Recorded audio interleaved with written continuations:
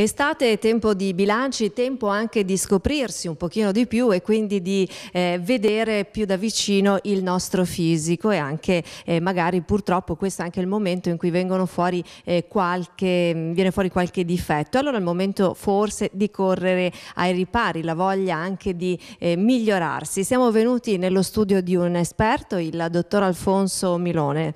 Grazie innanzitutto per averci accolto. Buongiorno. Allora, dottore, è ancora eh, possibile intervenire in qualche modo? Beh, diciamo che in questo periodo le donne fanno la prova costume, che è una cosa eh, che voi penso la facciate tutti.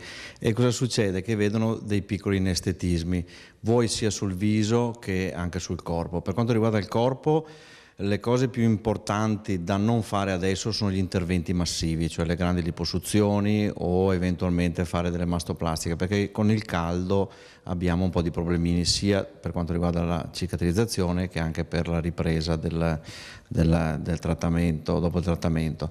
E invece conviene fare in questo periodo, se si vuole, magari delle terapie un po' più blande, tipo radiofrequenza, cavitazione, che si possono fare sia sul corpo, se magari c'è qualche cuscinetto in più, oppure eh, sul viso. Il, nel viso suggerisco radiofrequenza in associazione magari con dei filler che rivitalizzano perché con l'estate abbiamo la pelle che diventa molto secca e quindi cosa succede?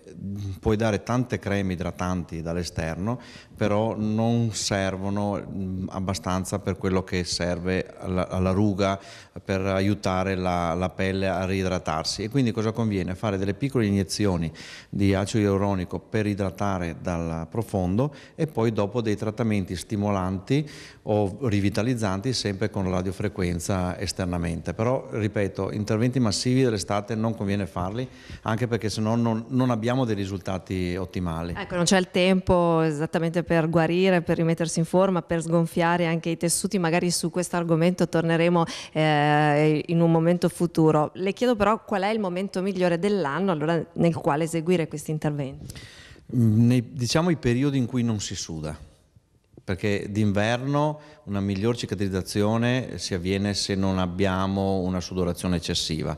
E voi dovete immaginare che dopo una liposuzione, specialmente le gambe o la pancia, bisogna tenere per almeno un mese e mezzo una guaina contenitiva con il caldo o stanno in casa con l'aria condizionata accesa 24 ore su 24 oppure non conviene, quindi è sempre meglio il periodo più fresco, quindi d'inverno.